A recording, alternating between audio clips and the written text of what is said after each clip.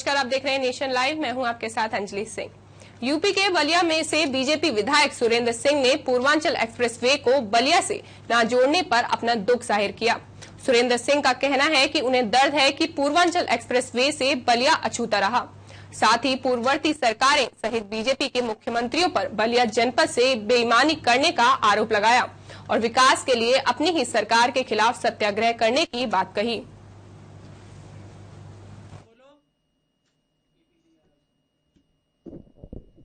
Hello?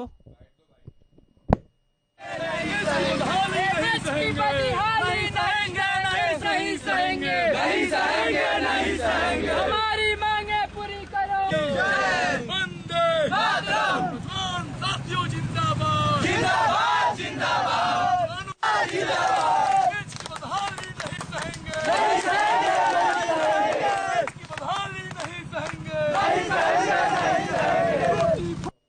बिल्कुल मुझे दर्द है और अब तक की जितने भी सरकारें बनी हैं इंक्लूडिंग हमारी भाजपा की सरकार भी, और भाजपा के हमारे जो भी मुख्यमंत्री बने हैं, वो हमारे बलिया के साथ बेईमानी किए और मैं मैं निश्चित रूप से कह रहा हूँ कि आवश्यकता पड़ेगी तो अपनी सरकार में भी, बलिया के विकास के लिए मैं सत्याग्रह करूँगा।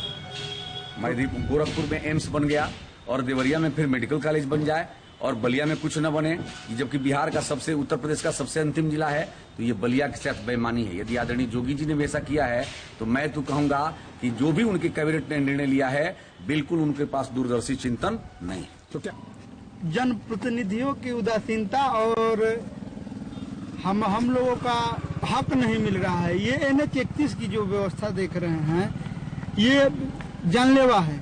मतलब इस पे चलना मौत को दावत देना है। आए दिन इस पे दुर्घटना हो रही है। अब बहुत सारे लोग, किसी ने अपना बच्चा खो दिया, किसी ने अपना गर्जीवन खो दिया। ये जिला, इस ज़िले से हमारे प्रधानमंत्री चंद्रशेखर जी हैं। इस लिंक रोडों की तो बात छोड़ दी। एनएच की दुर्दशा साहब आप आप लोग खुद आ- बलिया से जब बैरिया की तरफ़ आते हैं तो शायद भी आपके मन में ये पीड़ा उठती होगी कि बलिया की एनएच पद यात्रा हम जय जयप्रभा सेतु माझी से और संभल ज़िले के चंदौसी में सार्वजनिक स्थलों पर लगे वाटर फ्रिज को भगवा रंग से पेंट किए जाने का मामला तूल पकड़ता नज़र आ रहा है।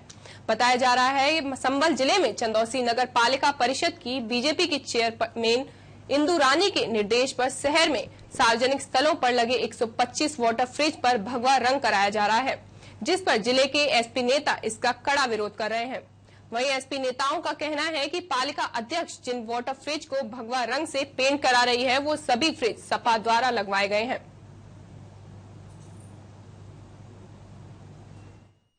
नहीं, सरकार का इसमें कोई निर्देश नहीं। पानी के लिए सबको शुद्ध पानी चाहिए। कलर का तो जितनी भी आप, इससे पूर्व में कितनी सरकारें आई, कितनी नगर पालिका चेयरमैन हुए। अगर सपा के चेयरमैन है तो ना अपने, अपनी पार्टी का कलर कर दिया। बीएसपी का कोई रहा तो बीएसपी का कलर कर दिया। हमने पार्टी का कलर नहीं किया है। भगवा कलर वो कलर है जो हमारी संस्कृति का प्रतीक, त्याग और समर्पण का प्रतीक है। हमारे जो सूर्य की किरण है, न हिंदू, न मुसलमान, न सिख को देखते थे। सूर्य की जो किरण होती है, जब सूर्य उगता है तो भगवा कलर लेके उगता है। जब सायकाल वो छिपता है तब भी वो भगवा कलर लेके छिपता है। उन्नाव में हड़ताल करने वाले लेखपालों पर शासन प्रशासन की कार्रवाई का कोई असर नहीं पड़ा है। लेखपालों का डीएम कार्यालय के बगल में धरना जारी है जब प्रदर्शनकारी लेखपालों ने सरकार के विरोध नारेबाजी की और प्रदेश की योगी सरकार के खिलाफ खुलकर मोर्चा खोला। वहीं लेखपालों का कहना है कि वो अपनी मांगों को लेकर डटे रहेंगे। वहीं लेखपालों ने बस्ता वापस न करने की भी बात कही है।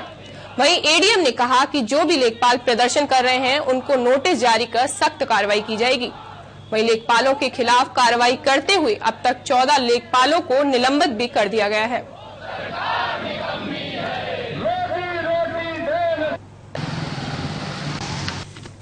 जब तक हमारी मांगे पूर्ण मानी नहीं जाएँगी तब तक हम आंदोलन से पीछे होने वाले नहीं। हमारे चौदह साथी निलंबित किए, पूरा जनपद के सभी साथी निलंबित किए, तब भी हम लोग पीछे नहीं आएँगे किसी की भी कीमत पर। हमारी आठ सूत्री मांगे हैं, उसमें मूल रूप से वेतन वृद्धि के रेट पे हमारा दो हज़ार से अट्ठाईस किया जाए। हमारी वेतन विसंगति हो गई एसीपी का जो लाभ दिया जाता है उसमें विसंगत हो गई, एक ही संवर्ग में दो उपवर्ग बना दिए गए, उनको दूर किया जाए। हमारे कुछ साथियों का पेंशन विसंगत हो गई है, उनको पेंशन का लाभ मिलना चाहिए। नियमानुसार उनको 2001 में नियुक्ति उनकी हुई थी, परंतु कतिपय कारणों से उनको, उनकी नियुक्ति फ़ील्ड में जो है 2005 में की गई। ये स्ट्राइक चल रहे थे, माननीय मुख्यमंत्री जी की तरफ़ से निर्देश दिए गए थे, और राजस्व परिषद से एक शासनादेश भी आया हुआ है कि लेखपाल की स्ट्राइक पर इस्मा लगा दिया गया है। तो इनको निर्देशित किया गया कि आप अपने स्ट्राइक को खत्म करके वापस आ जाइए। परंतु तो लेखपाल के जो जिलाध्यक्ष हैं, महामंत्री हैं, तहसीलों के जिलाध्यक्ष हैं, महामंत्री हैं, इनसे जब कहा गया तो इन्होंने कहा मैं अपनी स्ट्राइक जारी रखूँगा, एक तरह से जो राजस्व परिषद के द्वारा, माननीय मुख्यमंत्री जी द्वारा निर्देश दिए गए थे, उसका उल्लंघन कर रहे थे। और तीसरे जो इनको ये भी निर्देश दिया गया था कि अगर आप काम नहीं करें तो अपना बस्ता जमा कर दीजिए तो बस्ता भी ये लोग नहीं जमा कर रहे थे। जिसके कारण इनको आरोप जारी करते हुए चौदह लेखपालों को निलंबित किया गया है जिसमें जिला अध्यक्ष और जिला महामंत्री और तहसील ज़्यादा जानकारी के लिए हमारे संवाददाता उन्नाव से आशुतोष मिश्रा हमारे साथ जुड़ चुके हैं। आशुतोष क्या है पूरा मामला? जी आपको बता दें उन्नाव में दो दो दिनों से लेखपाल धरने पे बैठे हुए हैं और लेखपाल पे शासन प्रशासन की कार्यवाही का कोई असर नहीं पड़ रहा है। लेखपाल बराबर डीएम कार्यालय के बगल में धरना जारी करे हुए हैं और एडीएम के निर्देश के बाद भी लेखपालों पे कोई भी किसी प्रकार की उनको सोचने के लिए उनको कोई भी प्रकार की वो नहीं है समस्या नहीं है। वो बराबर अपने ही एक उस पे अडिग हैं और डटे हुए हैं। और वो उनका कहना है कि लेखपाल संघ के जो बैनर लगाए हुए हैं उनको भी सरकार की तरफ़ से हटा के और उनपे एफ़ आई दर्ज करने की बात कही गई है। लेकिन लेकिन यहाँ कहीं कुछ ऐसा लग नहीं रहा है कि लेखपाल अभी धरना वापस लेंगे या धरना समाप्त करेंगे। लेखपाल संघ के जिला अध्यक्ष और मंत्री सभी तहसीलों अध्यक्ष मंत्री निलंबित कर दिए गए हैं इसमें। और लेखपाल का कहना है कि हम तब तक अपनी हड़ताल वापस नहीं लेंगे जब तक हमारी मांगे पूरी नहीं होंगी और हमारे जो हमारे जो आ, क्या कहते हैं हित की चीज़ें हैं हमको मिलेंगी नहीं। जी आशुतोष कब तक ये मांगे यूँ ही इनकी पूरी नहीं हो पाएँगी और कब तक इनका प्रदर्शन यूँ ही जारी रहेगा? अंजलि जी आपको बता दें कि ये लेखपाल लोग पिछले तीन दिनों से धरने पे हैं और इनका बराबर यही कहना है कि जब तक इनकी सारी मांगे पूरी नहीं होंगी तब तक ये यूँ ही धरने पे बैठे रहेंगे। चाहे सरकार और शासन की तरफ़ से कोई भी कार्रवाई कर दी जाए शासन की तरफ़ से कहा गया था कि बच्चे वापस कर दिए जाएँगे और एफआईआर दर्ज हो जाएँगी। लेकिन इन इस चीज़ का भी इन लेखपालों को कोई असर नहीं है। शासन और सरकार की बातों को ये बिल्कुल नजरअंदाज करते हुए नज़र आ रहे हैं यहाँ पे। जी आशुतोष बहुत बहुत शुक्रिया हमारे साथ बने रहने के लिए। अब बढ़ते हैं अगली खबर की ओर। यूपी में लेखपाल संघ के बैनर तले झांसी के लेखपालों की आठ सूत्रीय मांगों को लेकर हड़ताल जारी है। लेखपालों ने 26 जून से कार्य बहिष्कार किया हुआ है। वहीं तीन जुलाई से लेखपालों ने सारा कामकाज बंद कर दिया है, जिससे राजस्व विभाग का कामकाज बुरी तरह से ठप पड़ गया है। प्रदर्शनकारी लेखपालों का कहना है कि काम तो लगातार बढ़ाया जा रहा है, लेकिन सहूलियतें नहीं दी जा रही हैं। उनकी मांगे हैं कि उनका वेतन अट्ठाईस सौ किया जाए, और इनके साथ ही स्टेशनरी भत्ता, मोटरसाइकिल भत्ता समेत कई मांगे हैं जिन्हें पूरा किया जाए।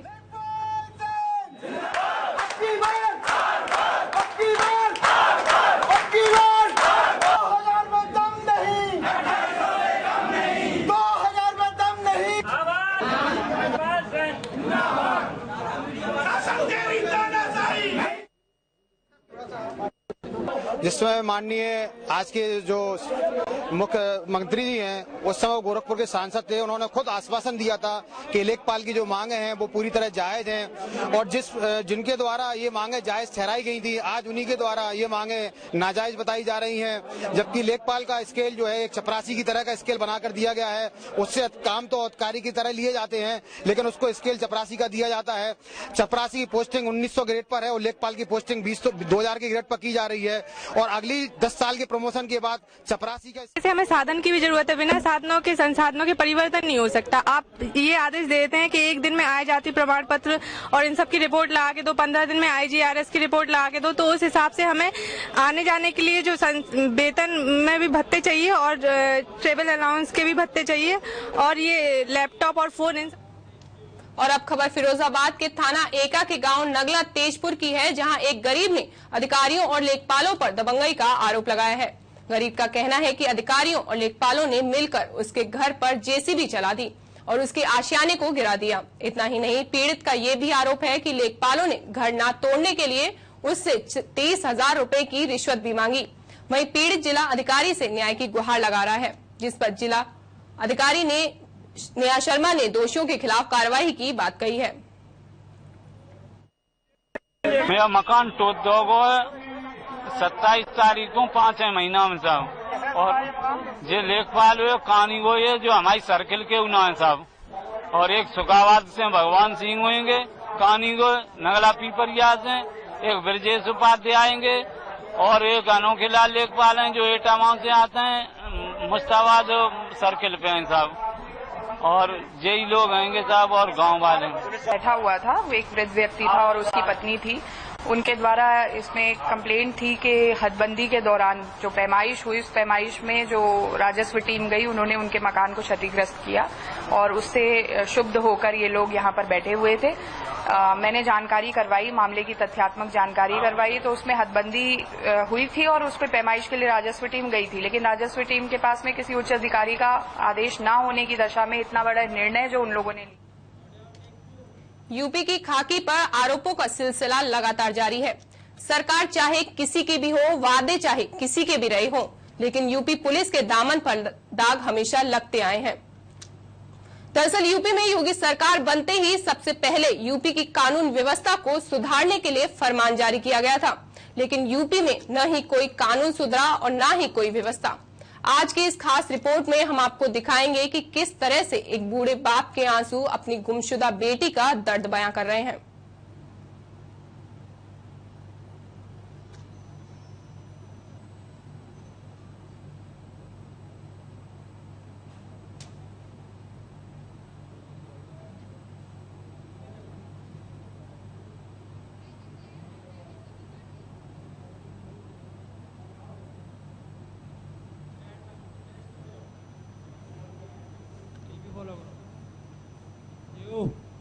झांसी में नावाबाद थाना क्षेत्र के बालाजी टावर पर मानव विकासवादी कल्याण संस्थान नाम की कंपनी को प्रशासन ने सीज कर दिया है। संस्थान करीब चार महीने से युवकों से रोज़गार के नाम पर 40 से पचास हज़ार रूपए की ठगी करती थी, जिसकी शिकायत मिलने पर उप जिलाधिकारी और पुलिस ने संस्थान पर छापेमारी कर उसे सीज कर दिया। वहीं एसपी सिटी देवेश कुमार पांडे के बताए कि संस्थान को सीज कर पाँच लोगों को हिरासत में लेकर जाँच शुरू कर दी है और जाँच पूरी होने के बाद आगे की कार्रवाई जारी की जाएगी।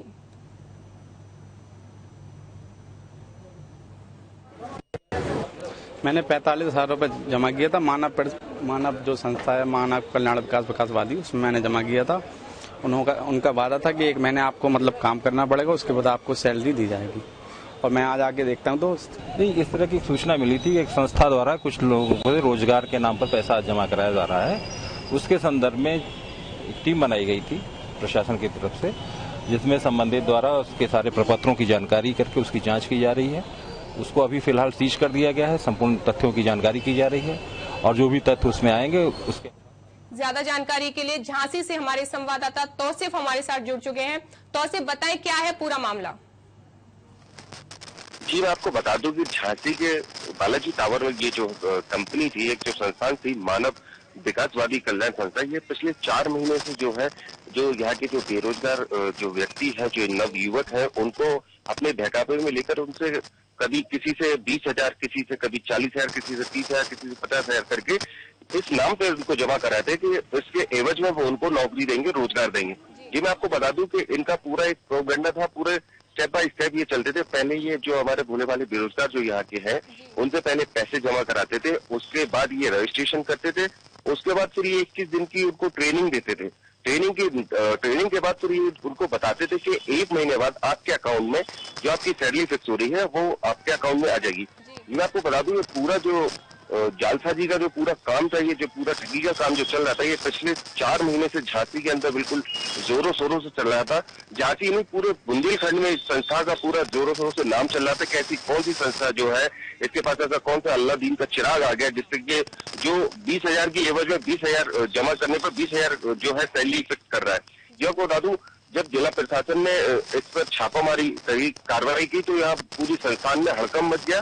मैं आपको बता दूँ, संस्थान ने पाँच लोगों को हिरासत में लिया था कल, और उनसे पूछताछ जारी करी। जब पूछताछ की, जब साया पाया गया तो देखा जाए कि कागजातों के बल पर फूट रहे जो कागज़ थे उनको तैयार करके, जो बेरोजगार यहाँ के हैं, नवयुवक, उनको ठगी का काम कराया जा रहा था।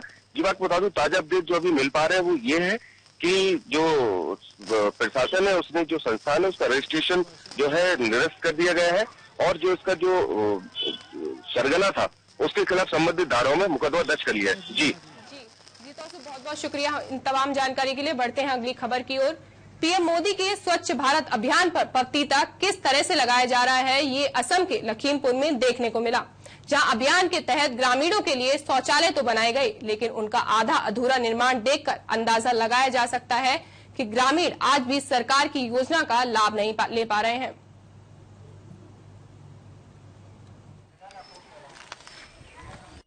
लड़की किस लिए जंगल गया था? अभी छोटा लड़की को देखिए सरकार जो टॉयलेट बाथरूम दिया था हाँ, उसमें अभी टैंकी वगैरह वगैरह नहीं है। हाँ, उसके लिए अभी इधर में जाने के लिए मुश्किल है जो दिया है उसमें हाँ।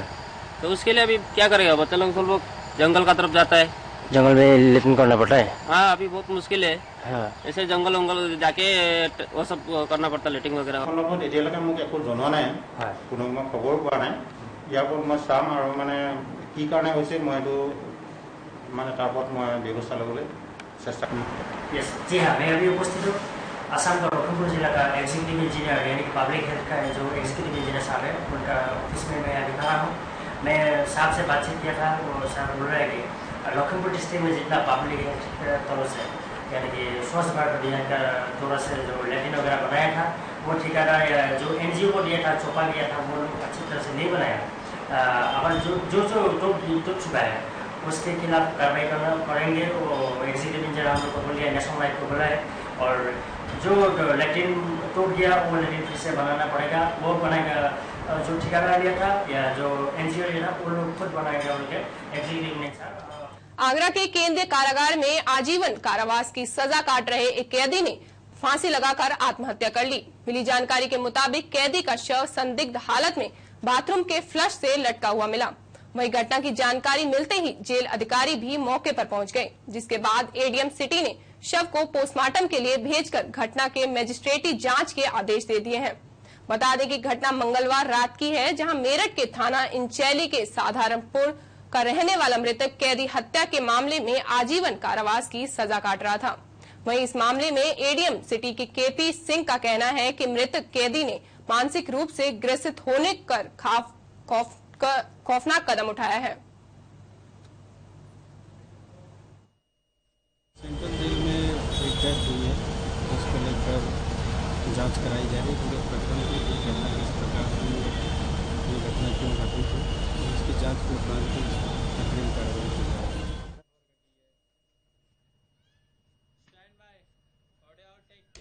फिरोजाबाद के थाना सिरसागंज में बाइक पर अपने भाई के साथ मौसी के घर जा रही युवती के साथ तीन मंचलों ने छेड़छाड़ की, जहाँ मंचलों का विरोध करने पर युवती के भाई को मंचलों ने बुरी तरह पीटना शुरू कर दिया, जिसमें युवती के भाई का पैर फ्रैक्चर हो गया।